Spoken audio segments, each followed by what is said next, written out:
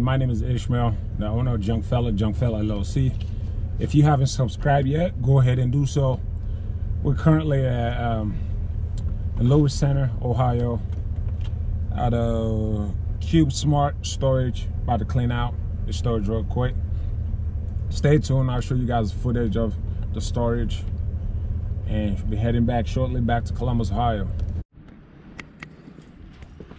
This is the unit that we have to clean out. I wish I can, I wish I know the value of these things, but to be honest, I have no clue.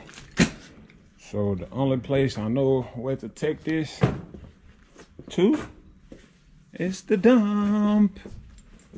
The dump.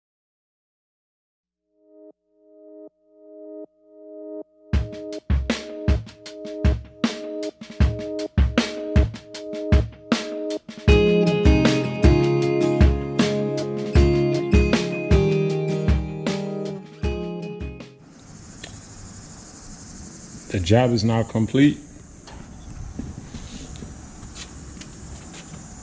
Gotten a full load out of this unit.